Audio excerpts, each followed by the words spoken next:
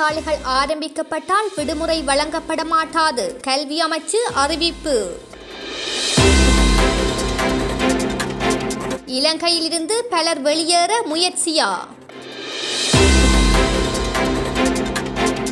அமைச்சர் டக்ளஸ் எடுத்துள்ள முடிவு. இலங்கையில் எரிபொருளுக்கு தட்டுப்பாடா? வெளியான அறிவிப்பு. கடும் கட்டுப்பாடுகளை உள்ளடக்கி வெளிவரவுள்ள சுற்றறிக்கை. இரவில் ஊரடங்கை தொடரவும் ஆராய்வு. சந்தையில் அரிசி தட்டுப்பாடு. முதலாம் திகதி முதல் பயணிகள் பேருந்து ஊழியர்கள் பின்பற்ற வேண்டிய விதிகள். சுட்டுக் கொன்றவரை கிரேனில் தொங்கவிட்ட தலிபான்கள் ஆப்கானில் கடும் அச்சத்தில் மக்கள். மீரா ஆயுர்வேதா ஜூரிச் சுவிட்சர்லாந்து பஞ்சகர்மா ஆயுர்வேத முறைப்படி ஆயுர்வேதிக் ட்ரீட்மெண்ட்ஸ் அபியங்கா ஸ்ரோதரா போன்ற சிகிச்சைகள் முறைப்படி தேர்ந்தவர்களால் வழங்கப்படுகிறது. உங்கள் மருத்துவ காப்புறுதி கிரங்கன் காசா ஊடாக கட்டணம் செலுத்தலாம். பத்தாண்டுகளுக்கு மேல் அனுபவம். கா doctor Meera for free consultation Meera Ayurveda Zurich மற்றும் லேண்ட்வார் சுவிட்சர்லாந்து அக்டோபர் மாதம் முதல் பாடசாலைகளை கட்டம் கட்டமாக திறப்பதற்கு எதிர்பார்க்கின்றோம். அவ்வாறு பாடசாலைகள் ஆரம்பிக்கப்பட்டால் வழமையாக வழங்கப்படும் டிசம்பர் மாத விடுமுறை இம்முறை வழங்கப்பட மாட்டாது என்று கல்வி அமைச்சின் செயலாளர் பேராசிரியர் கபில பெரேரா தெரிவித்துள்ளார். அதேவேளை பாடசாலைகளை நான்கு கட்டங்களாக ஆரம்பிப்பதற்கு திட்டமிடப்பட்டுள்ளது. இதன்படி இருநூறிற்கும் குறைவான மாணவர்கள் கல்வி கற்கும் பாடசாலைகள் விரைவில் திறக்கப்பட உள்ளதாக எதிர்பார்க்கப்படுகின்றது. நாட்டிலே இருநூறுக்கும் குறைவான மாணவர்கள் கல்வி கற்கும் ஐயாயிரத்தி நூற்றி முப்பத்தி ஒரு பாடசாலைகள் உள்ளதாகவும் அவற்றில் தரம் ஒன்று முதல் ஐந்து வரையான வகுப்புகள் உள்ள பாடசாலைகளின் எண்ணிக்கை மூவாயிரத்தி எண்ணூற்றி எண்பத்தி நான்கு எனவும் அதிகாரிகள் சுட்டிக்காட்டியுள்ளனர். அந்த வகையில் தரம் ஒன்று முதல் ஐந்து வரையான வகுப்புகள் உள்ள பாடசாலைகளை திறக்க முடியும் என்ற நம்பிக்கை வெளியிடப்பட்டுள்ளது. கடந்த இரண்டு மாதங்களில் மட்டும் ஐம்பத்தி ஆறாயிரத்தி நானூற்றி ஆறு புதிய கடவுச்சீட்டுகளை வழங்கியுள்ளதாக குடிவரவு மற்றும் குடியகல்வு திணைக்களம் தெரிவித்துள்ளது. ஜூலை மாதத்தில் இருபத்தி ஏழாயிரத்தி முன்னூற்றி இருபத்தி ஆறு புதிய கடவுச்சீட்டுகள் வழங்கப்பட்டன.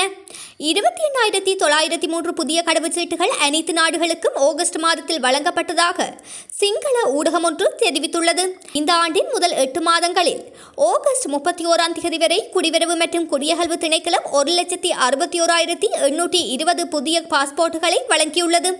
இரண்டாயிரத்தி இருபதுடன் ஒப்பிடும்போது இந்த எண்ணிக்கை அதிகரித்து வரும் போக்கை காட்டுகின்றது. இரண்டாயிரத்தி இருபதில் ஆண்டு முழுவதும் மொத்தம் இரண்டு லட்சத்தி நான்காயிரத்தி எண்பத்தி ஒரு புதிய பாஸ்போர்ட்டுகள் வழங்கப்பட்டன. ஐக்கிய நாடுகள் பொதுசபை கூட்டத்தொடரில் ஜனாதிபதி கோட்டாபாய ராயபக்ச வெளியிட்ட கருத்துக்களை வரவேற்பதாக தெரிவித்துள்ள அமைச்சர் டக்ளஸ் தேவானந்தா ஜனாதிபதி தெரிவித்த கருத்துக்களை செயற்படுத்துவதற்கான முயற்சிகளை தொடர்ந்து முன்னெடுக்க இருப்பதாகவும் தெரிவித்துள்ளார். வெகுஜன ஊடக அமைச்சினால் ஏற்பாடு செய்யப்பட்ட அமைச்சரையை கேளுங்கள் என்னும் வளம் சார்ந்த அபிவிருத்தி கலந்துரையாடலில் நேற்றைய தினம் பங்கு பெற்றி கருத்து தெரிவிக்கும் போதே மேற்கண்டவாறு தெரிவித்தார். அடுத்த ஒரு மாதத்திற்கு நாட்டில் எரிபொருள் இருப்பு உள்ளதாகவும் அடுத்த சில மாதங்களுக்கு எரிபொருள் கொள்வனவுக்காக வெளிநாட்டு விநியோகஸ்தர்களுடன் ஒப்பந்தம் செய்துள்ளதாகவும் இலங்கை பெட்ரோலியம் கூட்டுத்தாபனத்தின் தலைவர் சுமித் விஜயசிங்க சிங்கள ஊடகம் ஒன்றிடம் தெரிவித்தார். எரிபொருள் இருப்புகளை இலங்கை பெட்ரோலிய கூட்டுத்தாபனத்தின் களஞ்சியத்தில் பராமரிப்பது இயல்பானது என்றும் தனிமைப்படுத்தலுடன் எரிபொருள் நுகர்வு குறைந்த நிலையில் தனிமைப்படுத்தல் ஊரடங்கு தளர்த்தப்படவுள்ள நிலையில் நாட்டில் எரிபொருள் நுகர்வு மேலும் அதிகரிக்கலாம் என்றும் கூறினார். எனினும் நாட்டில் எரிபொருள் பற்றாக்குறை இல்லை என்றும் எதிர்காலத்தில் இதுபோன்ற நிலைமை ஏற்படாது என்றும் அவர் குறிப்பிட்டார். இதேவேளை எரிபொருள் கொள்வனவுக்காக இந்தியாவிடம் ஐநூறு மில்லியன் அமெரிக்க டாலர்களை கடன் வாங்க தயாராகி வருவதாக தகவல்கள் வெளியான நிலையில் எரிபொருள் பற்றாக்குறை குறித்த அச்சம் மீண்டும் தோன்றியுள்ளதாக அந்த ஊடகம் தெரிவித்துள்ளது.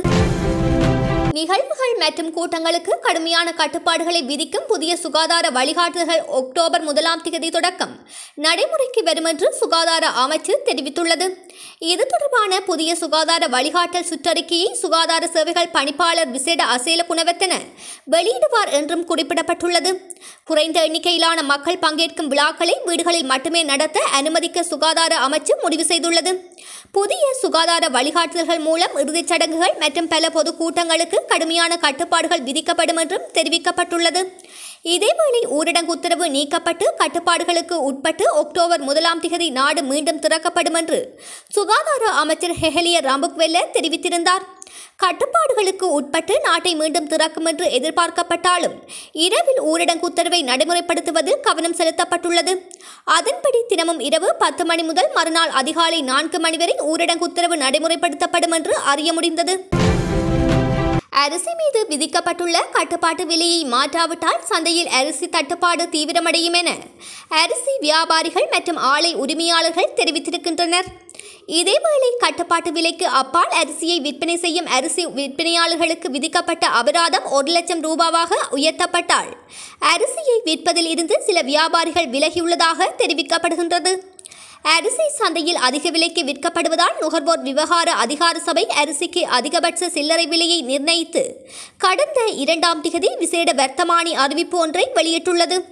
ஒரு கிலோ நாட்டரிசியின் அதிகபட்ச சில்லறை விலை தொண்ணூற்றி எட்டு ரூபாவாகவும் ஒரு கிலோ சம்பா அரிசி நூற்றி மூன்று ரூபாவாகவும் மற்றும் ஒரு கிலோ கீரிச்சம்பா நூற்றி இருபத்தி ஐந்து ரூபாவாகவும் விலை நிர்ணயிக்கப்பட்டது. அதைத் தொடர்ந்து அவசர கால அதிகாரங்களின் கீழ் முன்னணி அரிசி ஆலைகளின் நுகர்வோர் விவகார அதிகார சபையினால் கடந்த இருபத்தி ரெண்டாம் தேதி சுற்றிவளைப்புகள் மேற்கொள்ளப்பட்டு நுகர்வோர் விவகார சட்டத்தில் புதிய திருப்பங்கள் கொண்டுவரப்பட்டது. புதிய சட்டத்தின்படி நுகர்வோர் விவகார சட்டத்தின் கீழ் குற்றங்களுக்கான குறைந்தபட்ச அபராதம் ஆயிரம் ரூபாயிலிருந்து ஒரு லட்சம் ரூபாயாக உயர்த்தப்பட்டுள்ளது. அக்டோபர் ஓராம் தேதி முதல் தனியார் பஸ்களில் பயணிகள் மற்றும் ஊழியர்கள் பின்பற்ற வேண்டிய விதிமுறைகளை மாகாண பயணிகள் போக்குவரத்து அதிகார சபையின் தலைவர்கள் அமைப்பு வெளியிட்டுள்ளது அதன்படி அக்டோபர் ஓராம் தேதி முதல் தனியார் பேருந்துகளில் பணிபுரியும் ஊழியர்கள் கோவிட் தடுப்பூசியின் இரண்டு டோஸ்களையும் பெற்றிருப்பது கட்டாயமாகும் என்று அமைப்பின் தலைவர் நிலந்த ஏகநாயக்க கூறினார் தனிமைப்படுத்தல் ஊரடங்கு சட்டம் நீக்கப்படுகின்ற எதிர்வரும் முதலாம் திகதியிலிருந்து. வீதி போக்குவரத்து அதிகார சபையின் கீழ் ஒழுங்குபடுத்தப்பட்ட பேருந்துகளின் செயல்பாடு குறித்து தெளிவுபடுத்தும் ஊடகவியலாளர் சந்திப்பு தம்புள்ளையில் இடம்பெற்றது. இதன்போது உரையாற்றுகையிலேயே அவர் இதனை தெரிவித்தார். இது தொடர்பாக அவர் மேலும் தெரிவிக்கையில் அதன்படி பேருந்து ஊழியர்கள் மற்றும் பயணிகள் முகக்கவசம் அணிவது கட்டாயமாக்கப்பட்டுள்ளதுடன் பஸ் நடத்துனரே அதற்கு பொறுப்பாக இருக்க வேண்டும். ஆசன எண்ணிக்கைகளுக்கு அமைய மாத்திரமே பயணிகள் பயணிக்க வேண்டும். அரசு மற்றும் தனியார் துறைகளில் பணிபுரிகின்றவர்களுக்கு முன்னுரிமை அளிக்க வேண்டும். அத்துடன் கூடுதலான கட்டணம் அறவிடக்கூடாது. பேருந்துகளில் யாசகம் பெறுவது தடை செய்யப்பட்டுள்ளது என்றும் இந்த புதிய விதிமுறைகளில் கூறப்பட்டுள்ளது. ஆப்கானிஸ்தானின் ஹெராட் நகரில் கடத்தலில் ஈடுபட்டதாக கூறப்படும் நான்கு பேரை சுட்டுக் கொன்றதாகவும் அவர்களின் உடல்களை பொது இடங்களில் தொங்கவிட்டதாகவும் தலிபான்கள் தெரிவித்துள்ளனர். மரண தண்டனை மற்றும் உடல் உறுப்புகளை வெட்டுதல் போன்ற தீவிர தண்டனைகள் மீண்டும் தொடரும் என்று ஒரு பிரபல தலிபான் அதிகாரி எச்சரித்த ஒரு நாள் கழித்து இந்த கொடூரமான காட்சி வந்தது. ஹெராட் நகரில் உள்ள மைய சதுக்கத்திற்கு உயிரிழந்த நான்கு பேரின் உடல்களை தலிபான் அமைப்பினர் எடுத்து வந்தனர்.